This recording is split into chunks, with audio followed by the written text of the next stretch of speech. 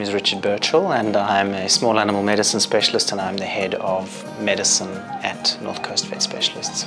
I kind of always wanted to be a vet. I grew up on a farm and um, always had an affinity for animals and I was interested in science and that seemed like a good combination between two of my major interests. Yeah, so in my spare time I, I enjoy anything to do with the outdoors, just getting outside, getting onto the beach, hiking, getting kids away from their screens. I enjoy most aspects of small animal medicine.